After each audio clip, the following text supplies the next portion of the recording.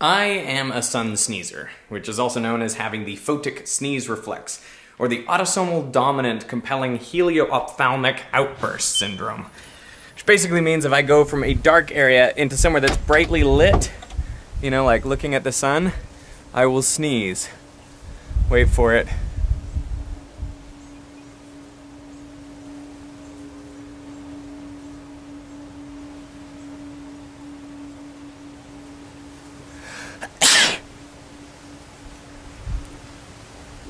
There you go. I'm a sun sneezer.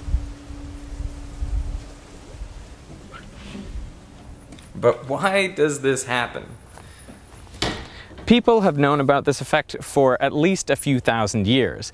Aristotle was probably a sun sneezer because in his Book of Problems, he asked, why does the sun provoke sneezing? And his answer was it was the heat from the sun which causes sweating inside your nose, and so you sneeze to get rid of the moisture. But a couple millennia later, Sir Francis Bacon demonstrated that this could not be the case, because when he closed his eyes and turned towards the sun, well, he did not experience that photic sneeze reflex. So his explanation was that it was the eyes watering, and then when some of that moisture got down into the nose, that caused the tickle which makes you sneeze. But even this theory has its problems, because eye watering is a much slower process than the photic sneeze reflex, so it can't be the cause. Before I started researching sun sneezing, I thought that having the photic sneeze reflex must convey some sort of evolutionary advantage onto the people who have it.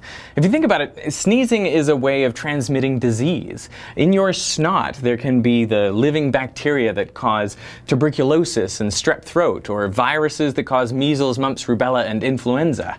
So if you're living in a moist, dark cave and you sneeze, or your snot lands on the floor or the walls of the cave, and those pathogens can stay alive for hours or even days, increasing the likelihood of spreading that disease to other people who live with you in your cave. Whereas, if you only sneeze when you emerge from the darkness of the cave and into bright sunlight, well then that mucus will quickly dry out, or because it's exposed to the harmful UV rays of the sun, it will kill all of those pathogens, greatly decreasing the risk of spread of disease. By the 1960s, some studies were revealing the hereditary nature of the photic sneeze reflex.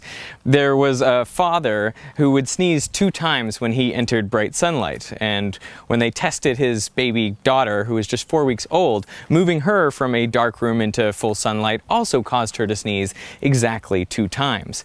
And by the 1980s, it was clear that this trait was autosomal dominant, meaning that you only needed to inherit one copy of the gene from just one of your parents in order to exhibit the trait. But when studies of the population have been done, only about 18 to 35% of people actually have the photic sneeze reflex. So I don't really think this gives a great evolutionary advantage. Otherwise, everyone would have it.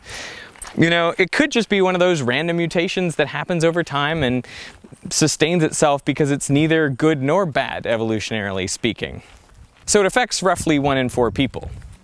Can you spot the person with the photic sneeze reflex? Nowadays, it's actually been found that the gene responsible for the photic sneeze reflex is on the second chromosome, and it's a single letter of DNA that's been changed. On my second chromosome, I have a C where non-sun sneezers have a T.